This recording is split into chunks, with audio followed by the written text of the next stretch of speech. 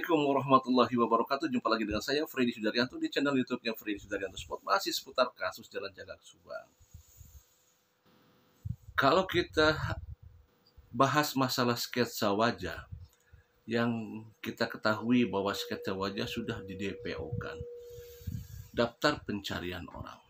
Berarti secara tidak langsung bahwa dicari orang yang belum jelas ya belum jelas keterangannya di mananya posisi dia di mana dan lain sebagainya lah ya. Nah artinya bahwa DPO ini di luar daripada saksi-saksi yang sudah terperiksa. Nah pertanyaan begini apakah bisa ndak kalau misalkan DPO pencarian orang orang yang ada di saksi tapi dia melarikan diri jadi DPO Nah, coba ya. Ada di antara saksi ya, tapi dia melarikan diri. Misalkan ini contoh ya, melarikan diri. Kemudian itu di DPO kan. Bisa nggak seperti itu? Kalau ini pertanyaan kan karena pertanyaan ini datang dari beberapa netizen yang masuk di komentar saya. Kalau misalkan seperti itu di DPO kan dari seorang saksi yang kabur melarikan diri gitu ya tentunya pihak kepolisian tentunya pihak kepolisian akan lebih mudah untuk memberikan sketsa yang terbaru. Kalau misalkan seperti itu. Ya kalau misalkan ketahuan misalkan dari salah satu saksi misalkan katakanlah inisialnya uh, apa namanya Odading aja gitu lah ya.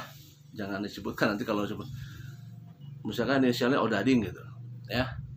Nah misalkan Odading ini kan sudah diketahui wajahnya ya kan? Banyak di media-media tidak akan lagi belakang dan samping. Sudah muka depannya diperlihatkan disebutkan orangnya itu akan lebih jelas dalam pencarian. Jadi kesimpulannya bahwa jelas bahwa DPO ini sikat wajah ini jelas-jelas di luar saksi terperiksa. Berarti kalau begitu orangnya di luar saksi ya berarti di luar saksi. Kalau kita kembalikan lagi kepada pernyataan daripada ibu Kapolres berarti ini tidak masuk kalau gitu ya. Bahwa ibu Kapolres mengatakan bahwa klu-klunya itu adalah ya orang terdekat kan seperti itu. Karena tidak ada pendobrakan dan lain sebagainya. Berarti orang luar ada dua kemungkinan. Orang luar atau masih juga dari ada saksi. Tapi belum masih praduga kan masih sebagai saksi. Apakah ada kemungkinan potensi daripada saksi ini untuk menjadi uh, kan sebagai pelaku? Masih ada kemungkinan. Walaupun sekarang sudah di DPO kan oleh pihak kepolisian untuk sementara ini untuk sementara ini dengan adanya DPO ini kan secara tidak langsung sudah menyatakan bahwa tidak ada keter ke uh, terlibatan daripada saksi. Untuk sementara. Ya kan karena bisa saja di tengah perjalanan adanya pelemahan alibi. Pelemahan alibi itu apa? Yaitu adanya saksi-saksi baru, bukan saksi baru ya, tapi adanya informasi saksi baru yang melihat, mendengar, punya alat uh, bukti, percakapan dan lain sebagainya yang memperlihatkan sesuatu atau pergerakan daripada saksi menuju sebagai pelaku. Nah, atau pengakuan. Misalkan ada pengakuan dari seseorang, salah satunya bisa saja dari salah satu saksi, bisa saja dari eh, saksi-saksi uh, yang tidak terperiksa ya. Kan ada juga saksi-saksi yang tidak terperiksa ya. Uh, yang tidak diperiksa katakanlah tukang ini, tukang ini gitu kan ya. Nah, siapa tahu ada tiba-tiba memberikan informasi. Saya melihat uh, si misalkan uh, apa tadi tadi saya bilang Odading atau apa ya siapalah gitu ya uh, Surabi atau apa uh, Bandros gitu ya. Saya melihat Bandros ini inisial aja ya. Saya melihat Bandros masuk ke TKP mengendarai Anu kemudian jam malam tengah malamnya uh, masuk ke dalam Nah, tapi harus dibuktikan juga dengan videonya. Ini saya melihatnya, ini ada videonya, mukanya kelihatan. Nah, bukan hanya pengakuan. Kalau hanya pengakuan saja kan semua orang juga bisa. Kalau tidak ada alat bukti ya omong kosong nantinya kan. Ada videonya nih, di videonya. Gitu. Saya lihat di TKP. Nah, itu bisa jadi melemahkan alibi yang selama ini kuat. Walaupun kalau misalkan video itu tidak berbentuk langsung melakukan eksekusinya, hanya sekedar datang, hanya sebagai petunjuk nantinya. Hanya sebagai petunjuk, nggak bisa dijadikan sebagai uh, alat bukti. Kecuali kalau video itu melihat rekaman kejadiannya. Nah, itu bisa jadikan sebagai barang bukti. Itu ya. Seperti itu. Jadi kembali lagi bisa jadi kalau di antara saksi itu bisa jadi ada potensi untuk bisa jadi pelaku kalau adanya pelemahan daripada alibi yaitu dengan adanya pengakuan-pengakuan yang sangat kuat sumbernya, sangat kuat bahannya, yaitu tadi yang saya sampaikan berupa video yang memperlihatkan bentuk kejadiannya. Berarti kalau begitu untuk sementara ini kita berpikiran menerawangnya berarti keluar di luar daripada saksi yang sudah terperiksa. Ya. Jadi yang pertama memang harus dicari bukan dalangnya. Adalah eksekutornya. Jauh kalau kita bilang dalangnya dicari nggak bisa. Nggak bisa nyari dalang, harusnya kita nyari adalah eksekutornya dulu. Inilah eksekutornya harus kita cari, baru nanti bisa mencari dalangnya.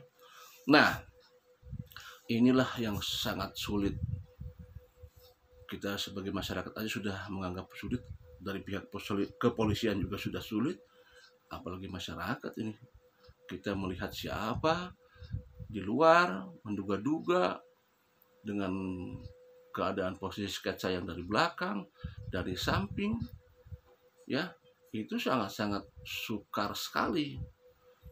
Apakah dengan sketsa itu uh, bisa dijadikan uh, apa namanya? Coba bayangkan saja ini kita bayangkan saja ya. Kalau misalkan sketsa itu sketsa itu ya oke lah menyerupai ya menyerupai.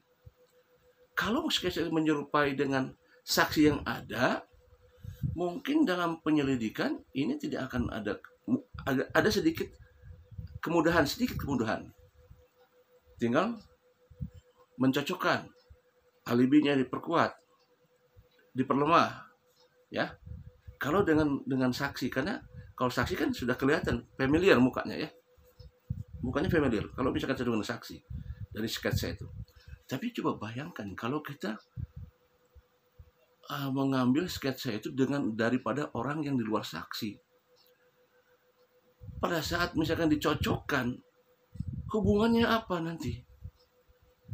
Katakanlah ketemu di, di pasar di pasar di stasiun ini ketemu misalkan gitu ya. Tapi pada saat ketemu begitu apa kecocokannya apa gitu? Dan motifnya apa? Susah sekali ini. Susah dari kesesuaiannya susah sekali. Ya tadi saya bilang kalau misalkan dengan para saksi mungkin kita bisa mencocok-cocokkan gitu ya. Saya ini oh ini si ini yang pernah diperiksa. Oh iya ada hubungannya dengan ini. Oh iya begini. Oh tanggal sekian di sini. Tapi kalau di luar saksi ya di luar saksi agak sukar mencocok-cocokannya pertama orangnya tidak kenal pasti kemudian juga di mana kegiatannya tidak jelas gitu kan? Paling paling adalah ditelusuri. Ada nggak hubungan di antara para saksi? Ada nggak hubungan di antara korban? Paling itu saja paling nantinya. Ya itu tapi tadi apakah bisa cocok gitu ya? Kalau misal dicocok-cocokkan ini ah, sukar. Ini saya pribadi sebagai orang awam nih ya, masyarakat awam agak susah nih dengan sketsa wajah yang dari belakang dan samping agak susah. Makanya ini ya kita juga agak sedikit pesimis kapan ini bisa terungkap ya agak pesimis. Ya ya kita berharap tetap harus optimis. Cuman ya kita ada aja perasaan kita tidak tidak membohongi diri kita. Ada aja perasaan pesimis. Seperti itu. Ya. Ya tapi kan polisi lebih pintar lah ya. Lebih lebih hebat.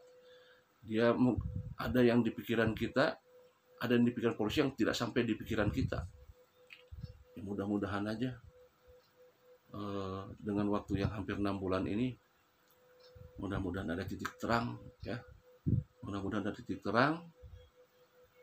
Kalau saya hanya punya prediksi satu aja.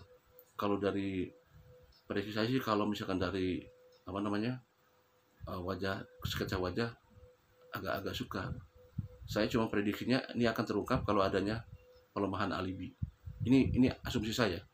Saya hanya bisa mendebak adalah kalau adanya pelemahan alibi yaitu apa? Pengakuan. Kalau ada pengakuan dari seseorang inilah yang akan bisa mengungkap ya. Karena dari pengakuan itu nanti jadi petunjuk petunjuk selanjutnya selanjutnya selanjutnya. Nah pengakuan ini tentunya adalah ya hanya campur tangan Tuhan. Karena kalau Tuhan sudah berkehendak orang yang kuat memegang prinsip orang yang kuat memegang mempertahankan uh, tidak mau mengaku kalau kata Tuhan suatu saat harus mengaku ya pasti dia akan mengaku. Dengan cara apa saja? Ya, dengan cara apa saja seseorang itu pasti akan mengaku. Dengan campur tangan Tuhan ya. Karena kita hanya berharap ya ini adanya campur tangan Tuhan. Baru bisa terkuak kasus ini. Pengakuan dari seseorang tidak ada kejahatan yang sempurna karena Tuhan melihat. Assalamualaikum warahmatullahi wabarakatuh